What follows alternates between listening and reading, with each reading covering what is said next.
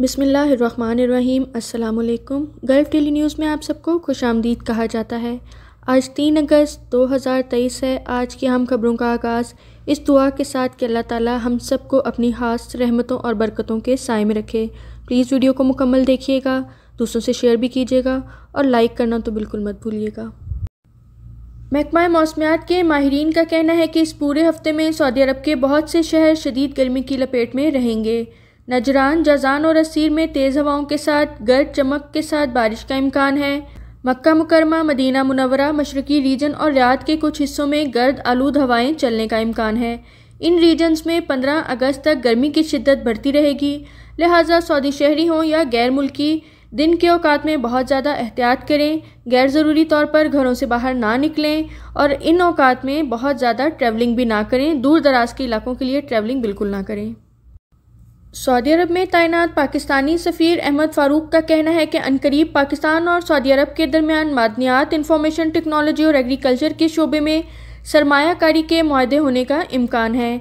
इन तीनों शोबों के अलावा तमाम खलीजी ममालिक, जिनमें सर फहरिस्त U E Qatar, Oman, Bahrain और सऊदी अरब डेयरी मसनूआत के लिए पाकिस्तान में सरमाकारी करने का ऐलान कर चुके हैं।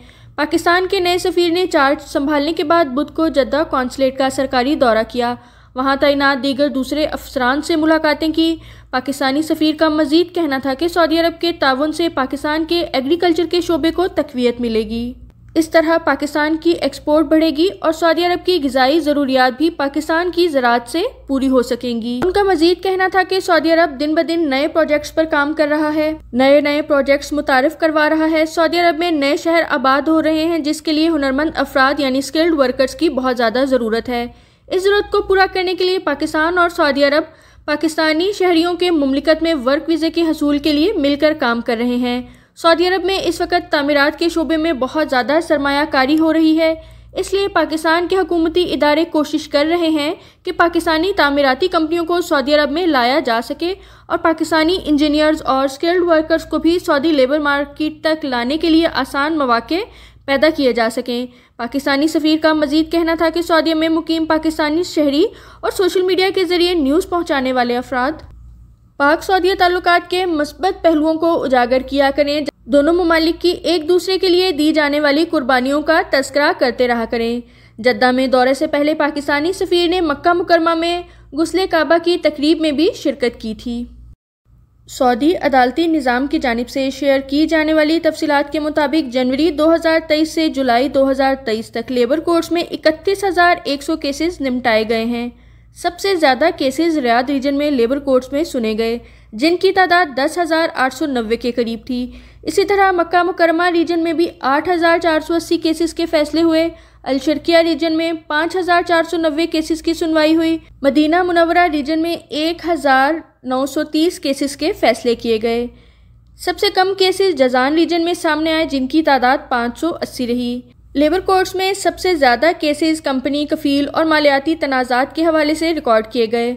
लेबर कोर्ट्स में कानून मेहनत के मुताबिक केस फ़ाइल करने से कबल कंपनी कफील और कारकुन के दरमियान मुफाहमत और दोस्ताना माहौल में तनाज़ात तय करने के लिए 21 दिन का टाइम दिया जाता है। अगर 21 दिनों में मामला बातचीत से हल हो जाते हैं तो केस खारिज कर दिया जाता है, वरना दूसरी सूरत में इस केस को ऑनलाइन लेबर कोर्ट्स में भेज दिया जाता है। लेबर कोर्ट्स में दोनों फ्रीकैन को सुना जाता है। गैर मुल्की को इसकी अम्बेसी की जानब से ट्रांसलेटर भी फ्राहम किया जाता है, जो अरबी ज़ुबान में जज को तफसीत से आगाह करता है। यहाँ दो चीज़ें मैं आपसे शेयर करना चाहूँगी कि वजारत अदल की वेबसाइट जिसे नाजिस कहा जाता है, इसमें पिछले साल कुछ तब्दीलियाँ की गई थी। इन नई तब्दीलियों के बाद अब जब कोई भी शहरी या गैर मुल्की अपना केस फ़ाइल करता है तो इसमें रकम लिखने के बाद, यानी वो रकम जो उसने कंपनी या कफ़ील से लेनी है कंपनी और कफ़ील ने जो रकम उसे अदा करनी है, उसके सबूत देने के बाद और रकम लिखने के बाद जब केस फ़ाइल किया जाता है तो वजारत अदल की जानब से फ़ीस का एक मैसेज आता है। फ़ीस की रकम उस रकम का दो से पाँच फ़ीसद हिस्सा होती है, जो केस फ़ाइल करते वक्त उस शख्स ने लिखी होती है।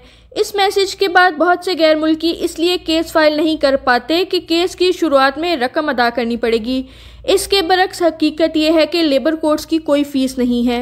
अगर आपको भी केस फ़ाइल करते वक्त फ़ीस का मैसेज मौसू होता है तो इसके बावजूद आप अपना केस फ़ाइल करें। जब लेबर कोर्ट्स में केस को सुनवाई के लिए मुंतखब कर लिया जाता है तो रकम अपने आप उस केस से हटा दी जाती है और आपको केस की पहली हेयरिंग की डेट मिल जाती है। दूसरी अहम बात यह है कि जब आप केस के अहम सबूत कोर्ट में पेश करेंगे तो इनका अरबी में होना ज़रूरी है। अगर आपके पास सबूत के तौर पर ईमेल्स हैं ड्यूटी रोस्टर है, आपके मैनेजर से आपकी जो भी गुफ्तगु हुई है, वो ईमेल्स में मौजूद है।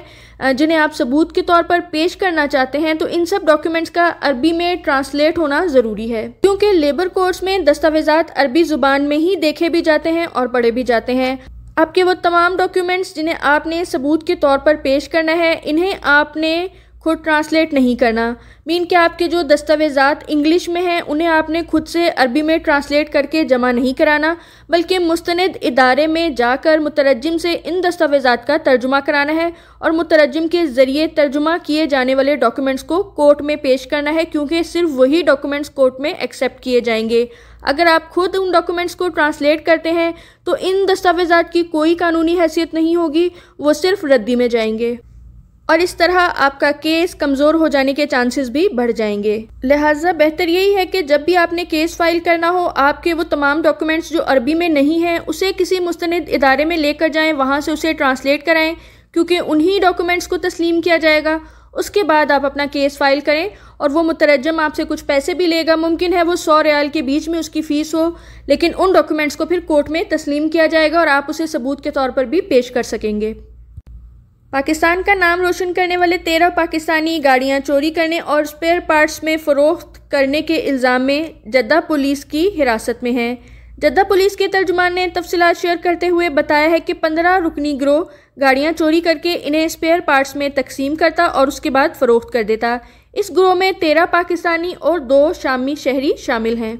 ये ग्रोह अब तक उन्नीस गाड़ियाँ चोरी करके स्पेयर पार्ट्स में फ़रोख्त कर चुका है। इस पंद्रह रुकनी ग्रोह में तमाम अफराद ने चोरी करने से लेकर फ़रोख्त करने तक के तमाम काम बांटे हुए थे। चोरी करने वाली टीम अलग थी स्पेयर पार्ट्स में तब्दील करने वाली टीम अलग थी और फ़रोख्त करने वाली टीम अलग थी।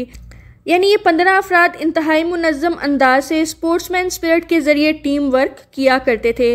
ये ग्रो गाड़ी चोरी करके शहर से बाहर मुंतकिल कर देते। वहाँ गाड़ी को खोल कर इसको पुर्जों में तब्दील कर देते।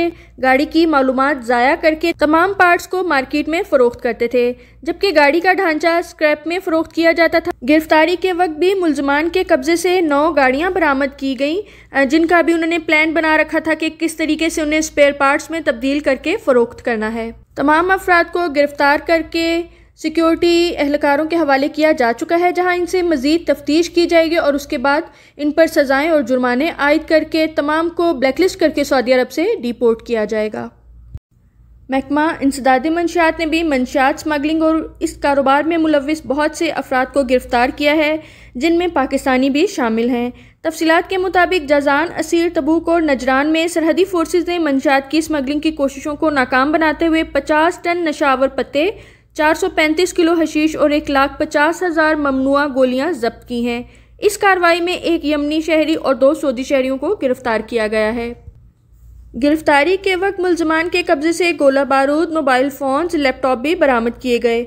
दूसरी कार्रवाई में नशावर पाउडर फरोख्त करने की कोशिश में जद्दा से तीन पाकिस्तानी शहरियों को गिरफ़्तार किया गया। इन तीनों को भी नशावर पाउडर फरोख्त करने और पाकिस्तान का नाम रोशन करने पर पब्लिक प्रोसिक्यूशन के हवाले किया गया है।